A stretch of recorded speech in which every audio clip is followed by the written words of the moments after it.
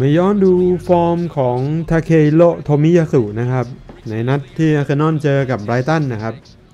นักเตะยอดเยี่ยมประจำเดือนกันยายนนะครับของอาร์เซนอลนะครับ เล่นได้ดีมากครับในนัดเจอกับสเปอร์นะครับปิดซนฮึงมินอยู่หมัดแต่นัดนี้ครับนัดนี้ไบรตันเนี่ยเลือกเจาะทางโทมิยาสุเลยนะครับ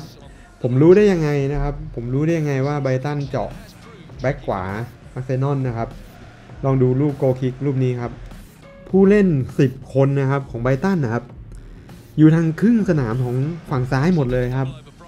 พูดง่ายๆคือทุกคนเนี่ยพร้อมที่จะบุกไปทางขวาของเซนอลครับดูครับเนี่ยครับบอลโกคิกมาเนี่ยก็บอมไปทางโทมิยาสุเลยครับ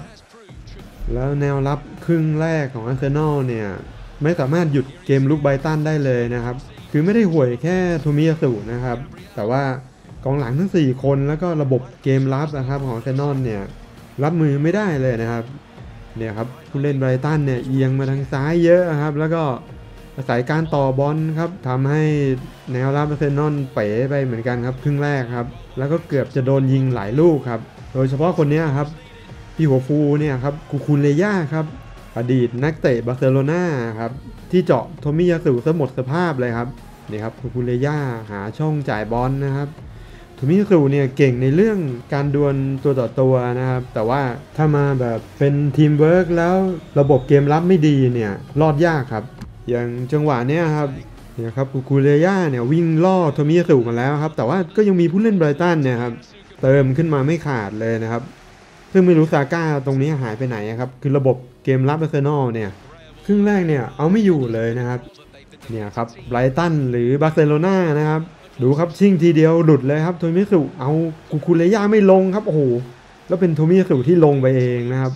อาจจะเพราะฝนตกด้วยหรือเปล่าครับ แต่ว่านัดนี้แพ้อย่างสิ้นเชิงครับในครึ่งแรกการดวลระหว่างโทมิยาสุกับกูกูเรญ่าเนี่ยครับโอ้โหที่อูคูเลเล่ของเราเก่งมากนะฮะเร็วแล้วก็แข็งด้วยนะครับ อีกหนึ่งจังหวะครับตอกย้ำไปเลยครับว่ากูกูเรญ่าเนี่ยเหนือกว่าโทมิยาสุในนัดนี้ครับเนี่ยครับ โทมิยาสุทำเป็นจะเล่นบอลแล้วก็โดนตัดบอลไม่ได้ครับ ดีครับที่อาร์เซนอลเนี่ยไม่เสียประตูจากจังหวะนี้นะครับ ดูครับ จะหลบใครไม่หลบนะครับมาหลบพี่อูคูเลเล่นะครับดูครับแล้วไบรตันเนี่ยต่อบอลกันโหดมากนะครับ เสียอย่างเดียวครับจังหวะจบสกอร์เนี่ยทำไม่ได้นะครับอาร์เซนอลเลยลอดตัวไปได้หลายจังหวะครับ ในเรื่องการดวลลูกกลางอากาศครับ นัดนนี้โทมิยาสุมีโอกาสดวลลูกกลางอากาศ 4 ครั้งนะครับ และชนะได้เพียงครั้งเดียวเท่านั้นนะครับ แล้วก็เป็นพี่หัวฟูเนี่ยครับคูคูเลย่าเนี่ยครับเป็นคนแย่งโมงได้ครับ คือคูคูเลย่าเนี่ยส่วนสูงเนี่ยไม่ได้สูงมากนะครับ แต่ว่าการกะจังหวะบอลตก แล้วก็การเทกตัวการบังบอลอย่างเงี้ยทำได้ดีกว่าโทมิยาสุครับนัดนี้โทมิยาสุเนี่ยรวนจริงๆนะฮะ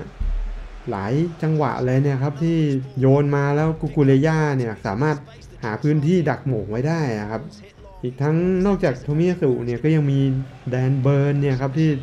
ตัวสูงมากครับ ตัวโหม่งชัดๆครับเอามาดวลกับโทมิยาสุนะครับ ในส่วนของการเซตเกมเนี่ยครับหลายคนสังเกตว่าเบนไว้เนี่ยไม่ค่อยส่งบอลให้โทมิยาสุนะครับเนี่ยครับจนเป็นเหตุให้โดนสวนกลับหรือมีความผิดพลาดเหมือนกันครับ อย่างลูกนี้เบนไว้ก็เลือกที่จะ จ่ายบอลไปข้างหน้าเนี่ยครับไปเองนะครับ ไม่ได้ลำเลียงบอลกับโทมิยาสุเท่าไหร่นะครับ แต่ก็เป็นแค่ตามจังหวะเกมนะครับ เพราะถึงเวลาปกติเขาก็ส่งให้ครับ ไม่ได้มีอะไรน่าเป็นห่วง แล้วก็ในครึ่งแรกโทมิยาสุจะไม่ค่อยเติมเกมขึ้นมาสูงมากนะครับ เพราะว่าน่าจะเป็นแท็กติกของอาร์เตต้านะครับ เนี่ยครับตามปกติเนี่ยแบ็คขวาเนี่ยจะต้องวิ่งตัดมานะครับ ตรงจังหวะที่ซาก้าเนี่ยครองบอลอยู่ แต่ว่าไม่มีครับไม่มีจังหวะแบบที่ว่าเลยโทมิยาสุแค่อยู่ข้างหลังแล้วก็คอยจ่ายบอลให้ซาก้าเล่น แล้วก็ไม่ได้วิ่งเติมครับ อันนี้ผมว่าอาร์เตต้าน่าจะแบบเน้นเลยแหละครับว่าไม่ให้โทมิยาสุดันเกมขึ้นมานะครับ ให้โฟกัสเกมรับอย่างเดียวครับ โดยรวมการเซตบอลการจ่ายบอลของโทมิยาสุเนี่ยไม่ได้น่าเป็นห่วงนะครับ ถ้าทุกคนวิ่งกันเป็นระบบเนี่ยโทมิยาสุก็ออกบอลให้ง่าย ๆ แล้วก็การจ่ายบอลเนี่ยมันไม่ได้น่าเกลียดนะครับ ยกเว้นอาจจะอยากเห็นลูกครอสสวยๆหรือว่าวางบอลยาวๆ แม่นๆ ของโทมิยาสุเนี่ยครับก็อาจจะไม่ใช่จุดเด่นของเขานะครับ เรียกได้ว่าครึ่งแรกเนี่ยทำได้ไม่ดีนะครับ มีแค่จังหวะเนี้ยครับ ที่ไล่ตัดบอลแล้วก็จ่ายบอลสวนมาจังหวะเนี้ย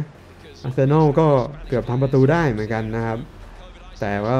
ซาก้าเนี่ยก็จบไม่ได้ครับ แต่ในครึ่งหลังครับเหมือนเกมมันเปลี่ยนจากหน้ามือเป็นหลังมือครับ แต่ว่าไม่ใช่ว่าอาร์เซนอลพับสนามบุกนะครับ แต่ว่าเกมรับเนี่ยดีขึ้นแน่นขึ้น เหมือนกับอาร์เตต้าเนี่ยศึกษามาในครึ่งแรกแล้วครับว่า ไบรตันจะเล่นยังไงบุกยังไงนะครับ แล้วก็โทมี่สุครับมีส่วนร่วมในเกมลุกมากขึ้นนะครับ เหมือนกับว่าถ้ารออยู่ข้างหลังก็รอเขาบุกมาครับ ก็มีโอกาสได้ดันขึ้นไปเหมือนกัน แล้วก็เกมรับอาร์เซนอลครับ จัดการการจ่ายบอลลำเลียงบอลของไบรตันเนี่ยได้ดีนะครับเนี่ยครับมีการซ้อนตัวตลอดนะครับ ผู้เล่นไบรตันเจาะเข้าไม่ได้อะครับ ทุกคนมาร์กตำแหน่งมาร์กคนกันแน่นมากครับ ดูครับผู้เล่นอาร์เซนอลเกินครึ่งทีมนะครับ มาช่วยกันเซตแนวรับนะครับนะครับ จังหวะจ่ายบอลโทมิสุก็ไม่น่าเป็นห่วงครับ ดูครับ ถ้าเขาได้เล่นถ้าเพื่อนพร้อมรับบอลอย่างเงี้ยไม่มีปัญหาครับนี่ครับ จวนตัวก็เตะไปเลยครับ ไม่มีมาคลองบอลให้มันเสียบอลนะผู้เล่นไบรตันพยายามจะเจาะครับคูคูเลย่าอย่างเงี้ยครับ ก็ทำอะไรไม่ได้ครับ ตอนนี้ ผู้เล่นอาร์เซนอลเนี่ยตั้งตัวกันได้หมดละ แล้วก็รู้สไตล์ของผู้เล่นไบรตันละ ครึ่งหลังโทมิยาสุก็ไม่มีจังหวะชงชาง หรือว่าโดนเลี้ยงหลบเลยนะครับเนี่ยครับผู้เล่นไบรตันพยายามจะชิ่งชิ่งเร็วเหมือนครึ่งแรกนะครับ แต่ว่าผู้เล่นอาร์เซนอลเนี่ยมีสมาธิกันหมดนะครับ ดูครับเซตแนวรับแน่นมากครับ แล้วก็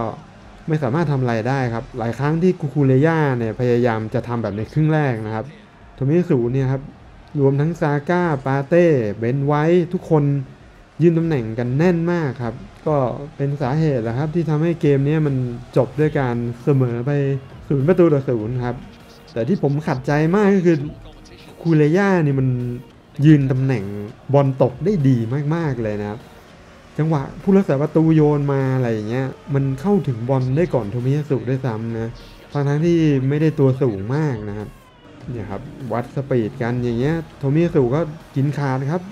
เตะออกไปเลยนะไม่เน้นลูกยากอยู่แล้วครับแบ็กสไตล์ญี่ปุ่นนะครับเบนไวท์ก็จ่ายบอลให้ปกติครับ ไม่เล่นยากไม่หวงบอลอาร์เซนอลดูดีขึ้นครับในครึ่งหลัง หลายจังหวะมีโอกาสยิงประตูด้วยนะครับ และโทมิสุก็ดันขึ้นมาสูงด้วยในแนวรุกนะครับดวลกันอีกครั้งครับกับกูกูเรญ่าลูกนี้ cross อันตรายมากครับ โหดจริงๆครับตัวนี้เล่นดีมากนะครับ ดูครับ early cross ก็ยังน่ากลัวนะครับดวลกันอีกครั้งครับคราวนี้ไม่ผ่านครับอย่าว่าแต่เลี้ยงผ่านเลยครับ ขนาดเปิดบอลให้ผ่านเนี่ยยังยากเลยนะครับในครึ่งหลัง ได้ดวลกันอีกครั้งหนึ่งครับ ก่อนหมดเวลาครับ นาที 93 เนี่ยครับทำอะไรไม่ได้ครับ โอเคโทมิยาสุแย่งบอลไม่ได้นะครับ แต่ว่าผู้เล่นไบรตันหรือคูคูเลย่าเนี่ยก็บุกไม่ขึ้นเหมือนกันครับ แล้วก็เสียบอลในที่สุดครับ เกมนี้เสมอศูนย์ศูนย์ครับ ได้เห็นอะไรหลายอย่างในเกมนี้นะครับโทมิสุที่คิดว่าเออน่าจะไปได้ยาวเนี่ยก็ต้องดูกันยาวๆนะครับ เพราะว่านัดนนี้เจอแนวลุกของไบรตันแนวลุก